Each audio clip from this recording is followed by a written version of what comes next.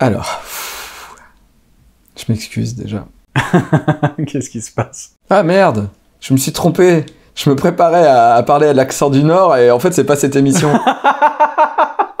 en fait là ça se passe en Chine et je vais pas vous faire l'accent. Non, Non, non, non. non, non. Il y a des gens, on a le droit de faire l'accent, il y a des gens, on n'a pas le droit. C'est très bizarre. Ouais. Bah en France tu peux plus. Tu vois les accents de France. Les accents de France, ouais. ouais. ouais. Alors euh, nous sommes en Chine Thomas. En plus je l'écris. Hein. Je ne ferai pas l'accent chinois même si ça aurait été drôle dans les années 2000. Mais c'est plus drôle aujourd'hui de faire l'accent chinois, c'est pourquoi je vais faire l'accent belge. Alors, bon, là, c'est un heureux jour, hein, vu que c'est le mariage de deux êtres qui s'aiment profondément. Je rappelle, en Chine, allez. Euh, et euh, sauf que la belle-mère remarque un truc sur sa belle-fille. Euh, elle a une flûte de champagne avant le mariage, et elle remarque une tache de naissance qu'elle avait jamais vue. On se dirait dans un long métrage. hein. C'est une histoire vraie, il y a des photos sur Internet. hein. Euh, et elle lui dit, mais euh, cette marque, je l'ai vue il y a 20 ans. Cette marque, elle elle l'avait vue sur la main de sa fille qui a disparu. Enfant. Elle avait 3-4 ans quand elle a disparu. Mhm. Et là, elle lui dit, tu, tu as été adoptée? Elle fait non. Et là, il y a les beaux-parents qui sont là, vu que c'est le mariage, qui disent, si, si, on l'a trouvée au bord de la route. Et là, ils se rendent compte que la femme qui allait se marier avec son fils était sa fille qui avait disparu dans le passé. Donc tout s'est bien terminé et le mariage a eu lieu. Attends, mon cerveau, il a pété en deux. Ouais. Alors, je, je veux bien qu'on récapitule pour l'arbre généalogique. Qui se marie? Thomas comprend rien, tout pour vraiment rien comprendre Donc euh, on va l'appeler maman. Ouais, Maman a, eu, euh, a son fils qui se marie avec une fille, d'accord. sa belle-fille. D'accord. Donc fils et belle-fille vont se marier. Voilà. Et elle se rend compte que sa belle-fille est sa fille. Ah putain, il va se marier avec son fils. Donc en fait, c'est ben non, non, mariez-vous pas. Attendez les gars. euh, Et bien ils se sont mariés, ils sont heureux, puisque après la disparition de sa fille, elle a adopté un garçon. Oh, Oh. c'est très bizarre, mais ça marche. Ça marche C'est-à-dire que sur le moment, tu fais. Non. Ouais, ça passe. Ouais, ça va, c'est juste qu'elle a, elle a retrouvé sa maman le jour de son mariage. non mais attends, c'est. C'est fou. Donc, vous pouvez taper, c'est c'est trouvé sur, c'est Yoram qui nous a envoyé ça, trouvé sur l'alsace.fr. Donc allez sur l'alsace.fr. Non mais. Quoi? C'est dingo, c'est dingo. Non mais. Manche, manche, cravate, lunettes, lunettes, lunettes, double lunettes, lunettes, lunettes, lu- lunettes, Make Bad News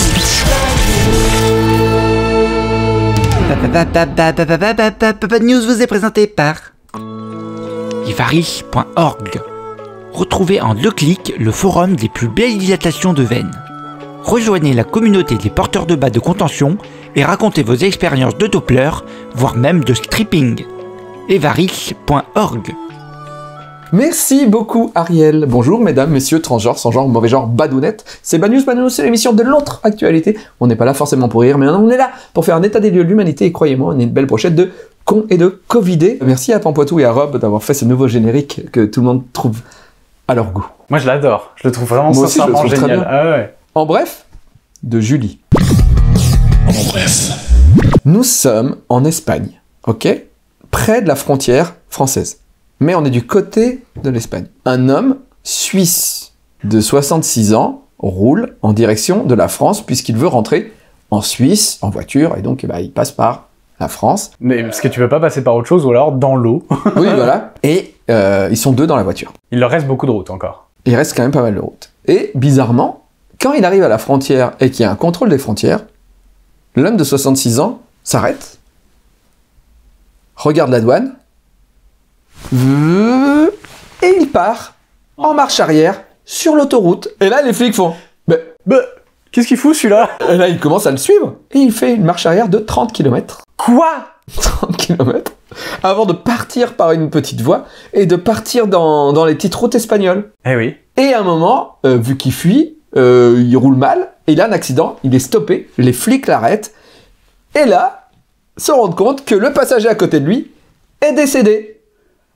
Je sais que j'allais te dire, mais le passager à côté lui dit quoi à ce moment-là? Parce qu'il fait frère, qu'est-ce que tu fais ou Il dit rien, Bah oui, il est mort. et il dit rien depuis trois semaines, puisqu'il a commencé à pourrir.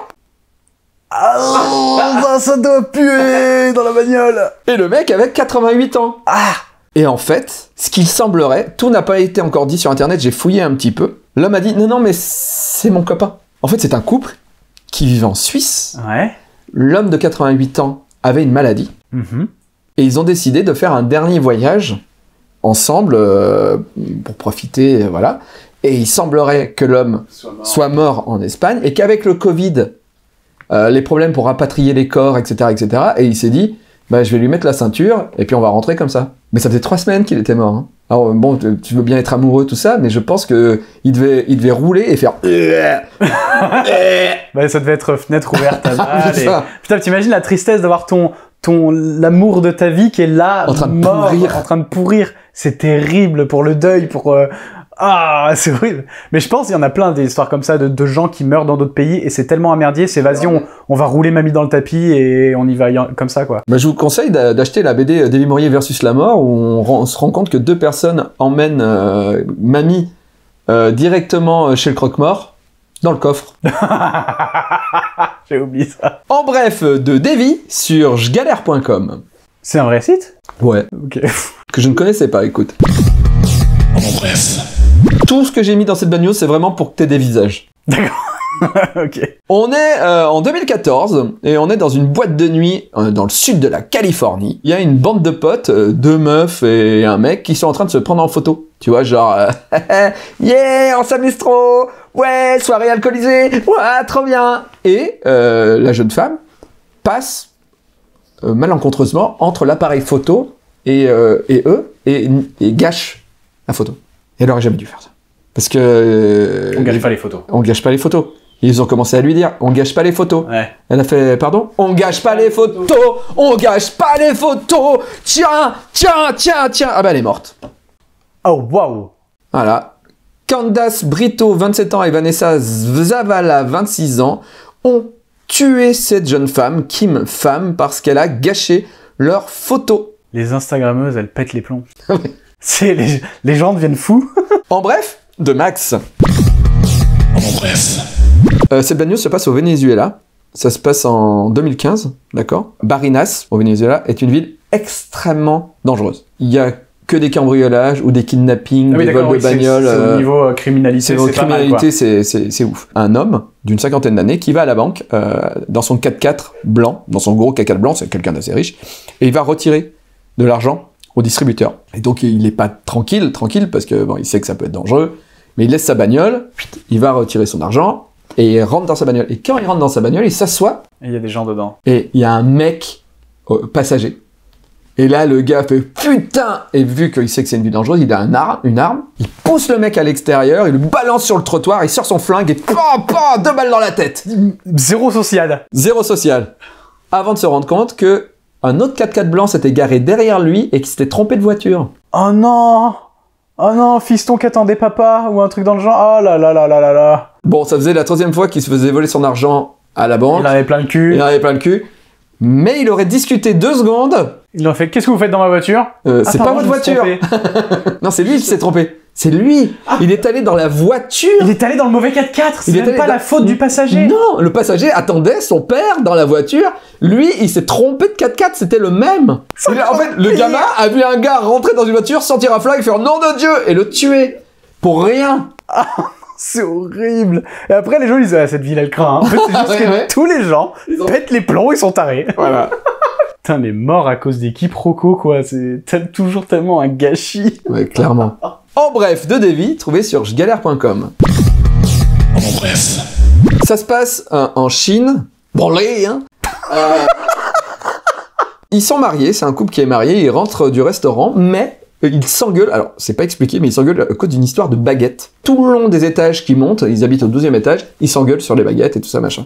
Et quand ils arrivent dans l'appartement, Tan, donc le garçon, persuadé que sa petite amie va le quitter. Il se dit, non, là on s'engueule pour des baguettes, mais ça va aller plus loin, et je suis sûr qu'on va, à un moment, euh, elle va partir. Et je veux pas qu'elle parte. Alors, bah, il l'a jetée par le balcon. Je veux pas qu'elle parte, donc c'est moi qui vais la faire partir. Il l'a poussée du 12e étage vers une mort certaine. Il se jette à son tour, mais il y a des échafaudages placés contre les meubles et qui lui ralentissent sa chute. Et du coup, bah, il, il va en prison. Il a survécu pour aller en tôle. Pour aller en tôle. Non mais les gens, ils sont... Non mais les gens pètent les plombs. Là, oui. Hein. Putain, non, mais baguette, non, mais c'est parce que je les ai mis à côté. Non, ça se met à côté. mais Tu vas me quitter? Tu vas me- Quoi? Quoi? Ouais, ouais, tiens Bon, peut-être qu'ils avaient bu, hein. J'espère. Ce soir, sur Twitch, c'est Fraggle C'est- Attends, mais c'est vachement dur, c'est que des films français. Je, je me demande à quel point c'est déformé en fait. Euh, Ça se trouve, on est sur, juste sur un bienvenu chez les ch'tis parce qu'il y a deux mecs qui rigolent, tu sais. Bonne réponse Et oui, c'est ça Deuxième affiche. Un interrupteur, un roi, Dans le chat, ils ont déjà trouvé. Hein. Moi je l'ai aussi. Hein. les visiteurs, mais je vois pas pourquoi c'est des les visiteurs. Jour, nuit, jour, nuit, les sarrasins Tu peux les faire en lithographie sérigraphiée ou pas ces affiches? Et on se les envoie si tu gagnes. David Quartet. Le Boomer Trad. Je l'ai retrouvé sur Instagram et je l'ai dragué sur Messenger. Alors je l'ai dragué sur Minitel. Et à partir d'un Polaroid. Je suis intolérant au gluten. J'ai des gaz en mangeant du popcorn. Bonne réponse Nous on avait en mangeant du pain Bonne réponse Comme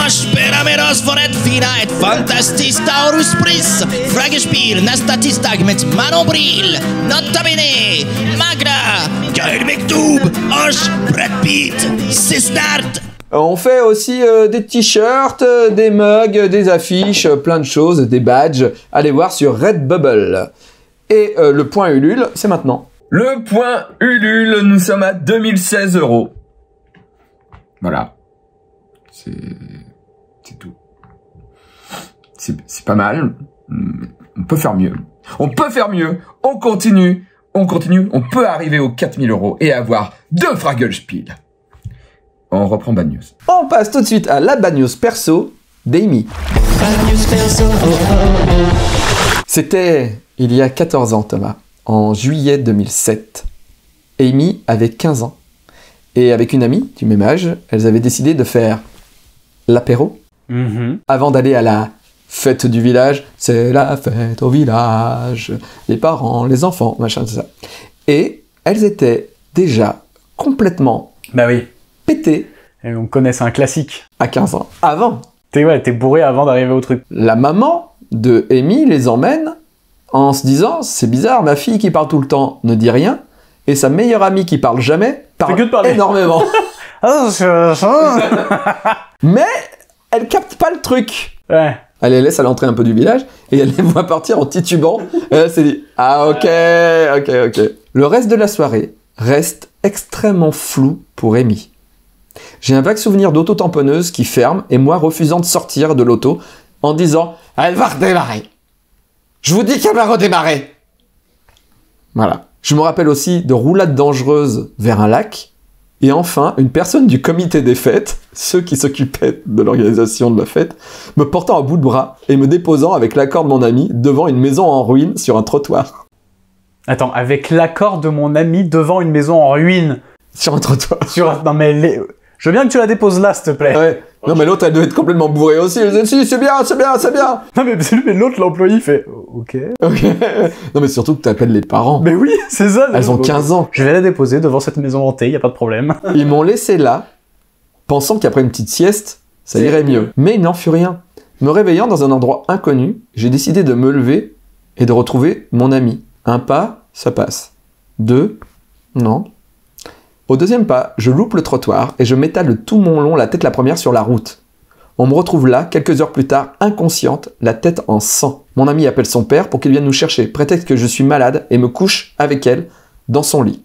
La suite de l'histoire tourne au gore. Je me réveille et c'est le blackout. Je n'ai souvenir de rien. Je ne reconnais pas mon ami à mes côtés, ni la chambre où je suis. Je me lève douloureusement, mon visage, mon épaule et ma clavicule me faisant atrocement mal. Je me vois dans le miroir, le visage plein de sang séché et de goudron. Une odeur nauséabonde de vomi, de pisse et de merde envahissent mes narines. J'observe avec horreur d'où proviennent les odeurs. Mes fringues en sont remplies. Je réveille mon ami, qui décide d'ouvrir les volets, pardon, pour mieux constater les dégâts. Au moment où on ouvre les volets, nous sommes assez surprises et choqués de retrouver de la merde collée sur les volets. Qu'est-ce qui s'est passé Ayant retrouvé des restes Dans mes fringues, nous avons supposé par la suite que j'ai essayé dans mon sommeil de me débarrasser des preuves par la fenêtre, mais trop bourré pour comprendre que les volets étaient fermés. Tout est resté là, en place, comme un petit cadeau du réveil. Elle s'est chiée dessus, elle a fait, oh, faut que je cache. Ah, je me dit, bah, je vais jeter par la fenêtre. Souvent, c'est les mecs qui racontent des histoires horribles comme ça, et ça me fait très plaisir Que c'est une fille. que ce soit une fille. Voilà, voilà, je tiens à le dire. Par la suite, je suis rentré chez moi, ma mère a dû me doucher. Il m'était impossible de bouger le bras, m'a emmené aux urgences pour constater une démembration de la pommette et une clavicule cassée. Je n'oublierai jamais l'infirmier urgentiste qui a pris l'histoire avec beaucoup d'humour. 15 ans, tatoué et une clavicule cassée due à l'alcool, t'es une petite rebelle, toi Et sa conclusion sur les comptes rendus médicaux, démembraison pommette gauche, arrachement osseux et l'acromioclaviculaire gauche due à une chute hier soir pendant une soirée arrosée. Arrosée? Non, pire. Là, on est plus sur de l'arrosage, on est sur un. Quand tu te chies dessus, c'est que... euh, bon... C'est qu'on t'a bien rempli au jet. et, Ah ouais. euh, Et c'est la correction de Sylvain. Bonjour les badounettes. Bonjour, maître Dans la Bad News 116, à 10.33, Davy dit En bref, très court de Sylvain, Freaky Hoodies. Ce à quoi Thomas lui répond Woody, tout court. Woody Il a plein de pulls à la fois. euh, T'as envie de dire, mais enfin, t'as pas trop chaud Alors bah oui, t'as tout compris. Euh, je suis jamais habillé comme il faut. L'été, j'ai trop chaud, euh, l'hiver, euh, j'ai trop froid. Alors en septembre, ça va. Voilà. En avril aussi, un peu.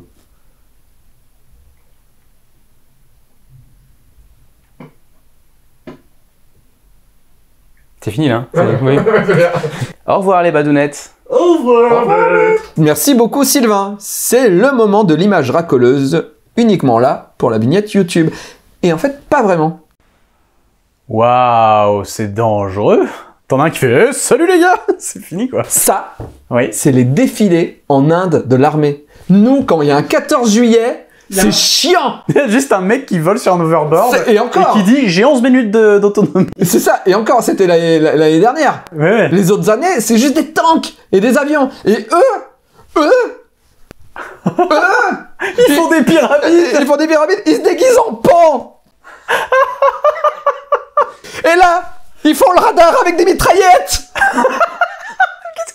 Attends, c'est les militaires, ça, on est d'accord C'est les militaires.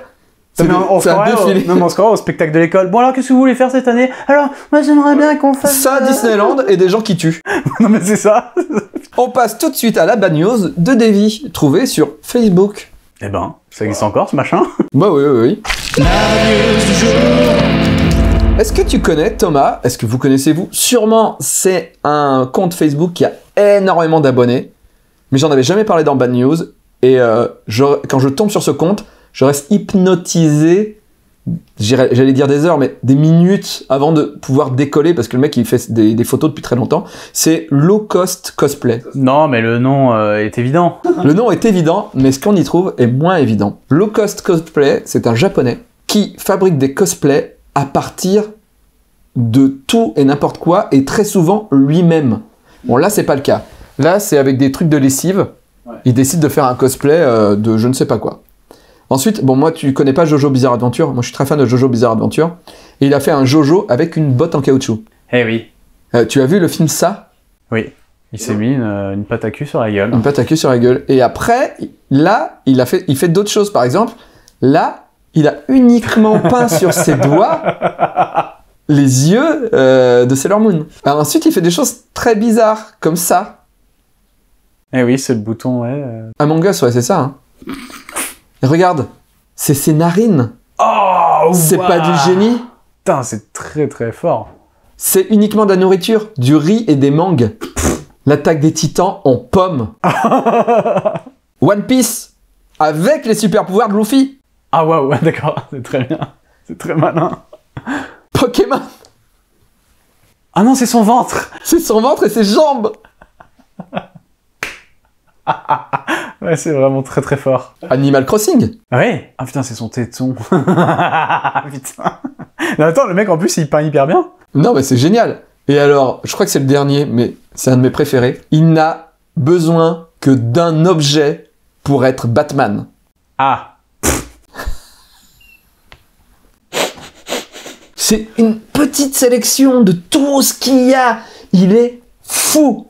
Il est fou. Si vous avez rien à foutre pendant un confinement ou un couvre-feu, allez sur Low Cost Cosplay.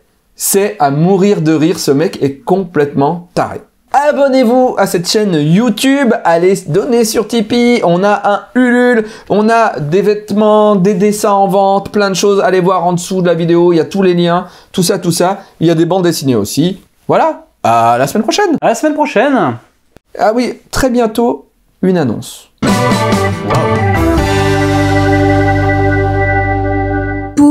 Pourtant, que la montagne est belle. Comment peut-on imaginer